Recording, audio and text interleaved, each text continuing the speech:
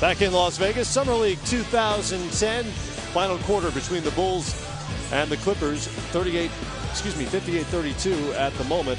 We're joined by new Clipper head coach Vinny Del Negro. Sorry about the circumstances uh, with your team on 32 at the moment and shooting less than 21%, but better days ahead for the Clips, in particular because Blake Griffin is over on the other side of the floor and, and practicing again. Well, yeah, we're, we're very young, obviously, and uh, you know just trying to get Eric Bledsoe as many minutes as possible, um, Aminu as many minutes as possible, and uh, you know get DJ some minutes and things. So.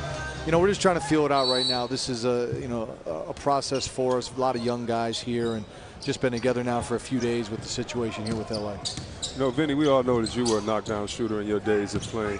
What advice First of all, Greek Shaq just had an incredible block. Yes, he did. We changed his name for you, Coach. His name is the Greek Shaq I right thought now. you were going to go with Summer Shaq. Uh, the Summer Shaq. That's right. Yeah, the Summer Shaq. But uh, by you being a, a knockdown shooter, before we get into your coaching style, just personally, what do you uh, tell guys that are scorers coming into the league? We were talking earlier, Matt and I, about how hard it is to judge when I'm aggressive, when I should not be as aggressive. What do you tell guys that are known to be scorers or can shoot? I mean, I think you have to have a little bit of a feel. You know as well as, as well as anybody. It's a very instinctive game and things. You have to make the extra pass. You have to make guys want to play with you, and you have to know what your skill level is and where you can get your shots.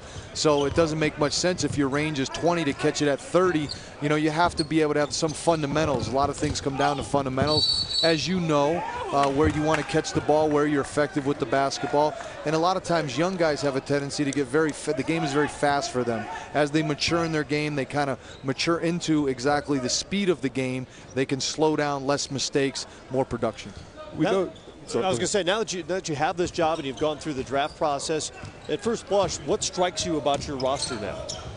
Well, we're young. I mean, uh, but we have you know a couple veteran guys. I was uh, I was happy to lock up uh, Randy Foye and uh, Ryan Gomes and Brian Cook, some veteran guys around so many young players. I wanted very good character guys. I think we have that. Um, obviously, the ball with Kaman um, and with Baron Davis and Eric Gordon. We know the the players we have and what they're capable of. Um, and obviously, adding uh, Blake, a healthy Blake Griffin, is going to make a lot of difference. So we still have a couple pieces to add, but overall, uh, we're young. Our development needs to be uh, uh, do a good job with the development of the players, but really uh, build a build a foundation defensively.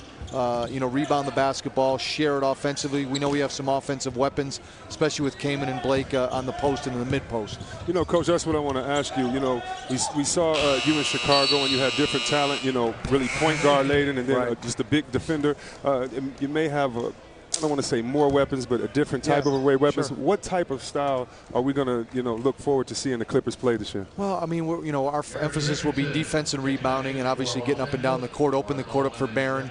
I think with Blake Griffin and, and Kaman, you can get up and down. They're both bigs that can run.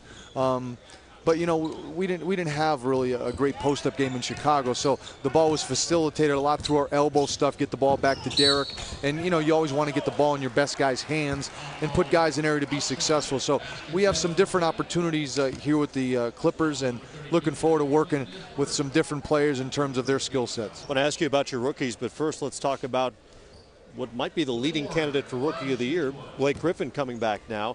He's here practicing with the team. He still has a learning curve in terms Sure. of playing NBA ball. What do you expect from him realistically his rookie year? Well, he's still a rookie, but uh, you know he hasn't played just because of his injury. He's just coming back. He's practiced a little bit with us. Um, so, you know, uh, he's such a great kid. He's a worker. He's all about the right stuff. Um, you know, he's got great physical talent, but he enjoys the game. He enjoys the practice. He enjoys trying to get better. And uh, he's still a young kid, but he's explosive.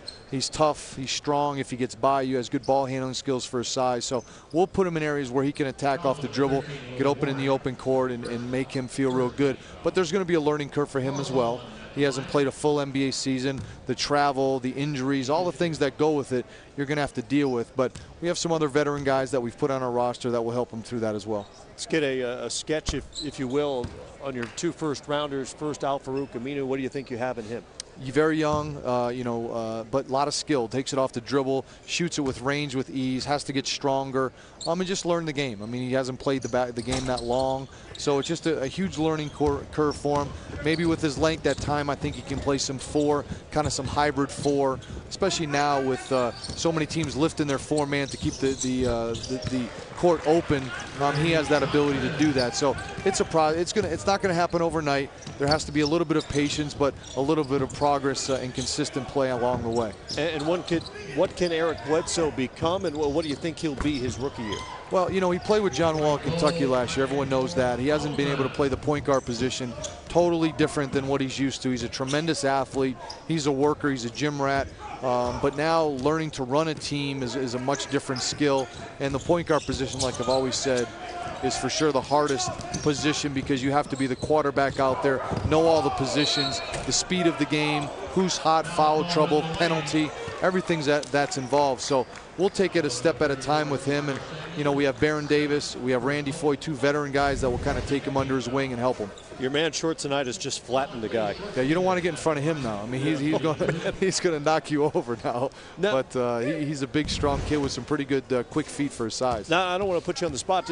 Do the Clippers expect him to be a part of the NBA team this year? I know he's out of his Greek contract now. Well, you know, that's why he's here. So we're going to take a look at him, take a hard look at him. We have a couple spots available, and uh, those decisions are made with Neil Olshey, myself, and uh, you know, we have two spots available, like I said, and let's see how it all comes together uh, during the summer. Well, he's such a curiosity. I, I, I told C-Webb earlier when he entered the game, he was like Sasquatch. You know, he was sort of a mythological figure in the yeah. basketball world because we've been hearing about him. Yeah, I mean, he's so only, many years. He's only 25. He's right. big. He's strong. He moves well.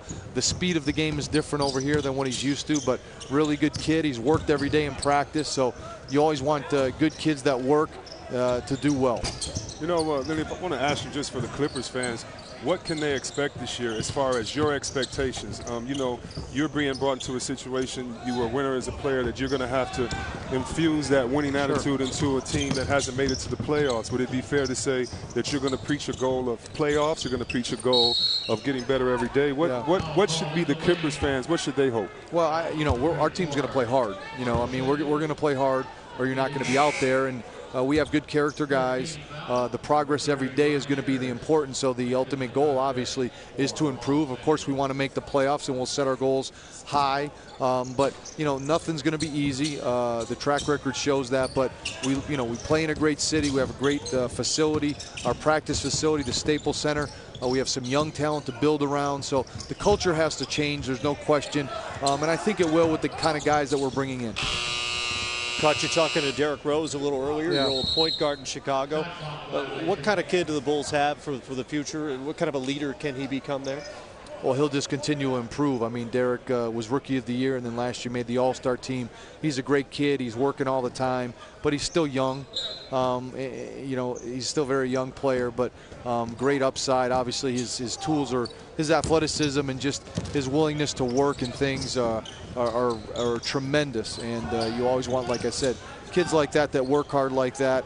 Um, you know, he was such a huge part of our success there the last two years, and he'll just continue to mature and get better. I thought you were tampering in that piece, but uh, but I won't say anything. Yeah. Surely you're allowed to talk to an Everything old player. Everything you say right? now is tampering. Right. I saw how you, yeah. you pat him on yeah. the back and you and you winked at him. I don't know exactly. what that meant. I'm gonna read into it. Well, I, I, saw Coach uh, Tom Thibodeau. I had so I talked to Derrick and then I coached to talk to Tom, so it all worked out just well. Let there. him know. I'm just I'm just saying hi. That's yeah, it. exactly. No. Uh, by the way, have you met met yet uh, Clipper Darrell? Clipper Dale, no. No? See, I told He's you. right up there. Yeah, no, I know who he is. Yeah. I haven't met him. He probably you know, used to yell at you when you oh, played yeah, too. Yeah, yeah, yeah, yeah. yep, I was ugly and I couldn't shoot and I couldn't do this and that. That just made me play a little bit harder, I guess, at times. But those are great fans, loyal guys. Uh, so it's great to see them out here. Bulls on top by 27 here in the fourth quarter, and we'll take a break along with the timeout. Vinny, congrats again. Thanks a lot. Good guys, luck to good to see you guys. in LA. It's good Absolutely. to see you out here. We'll get it going. Enjoy yourself. Thanks, good luck. Good to see you, bud. Always. Clippers head coach Vinny Del Negro with us here on NBA TV.